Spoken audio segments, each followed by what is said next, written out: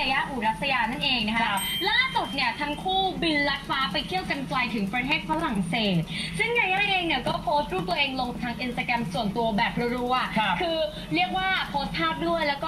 ็โพ สต์ใน IG Story ด้วยนะจ๊ะ แม้ตอนนี้ครับก็ยังไม่มีภาพคู่เนี่ยออกมาให้เห็นกัน ล่าสุดในอินสตาแกรมของแม่แก้วครับ ก็ได้โพสต์รูปลูกชายเนี่ยกำลังยืนยิ้มแย้มอย่างมีความสุข แฟนๆ ก็แอบสังเกตว่าเอ๊ะชุดเนี่ยช่างคล้ายกับชุดของญาญ่าที่ถ่ายลง IG Story ซะเหลือเกิน แต่งตัวเนี่ยเหมือนกันเป๊ะ ไม่ว่าจะเป็นเสื้อผ้ากางเกง หรือแม้กระทั่งรองเท้าครับ อืม เห็นแบบนี้เราก็ฟินไงครับ โอ้เราก็มานั่ง สังเกตว่าเราก็นั่งฟินคู่แบบนี้มีความสุขทุกวันเลยเนาะถูกต้อง เนี่ย แต่ว่าอะก็เป็นอีกหนึ่งคู่เหมือนกันที่รอคอยภาพคู่เหมือนกันนะจ๊ะใช่แล้วจ้า ใช่จ้าอะมาที่อีกหนึ่งคู่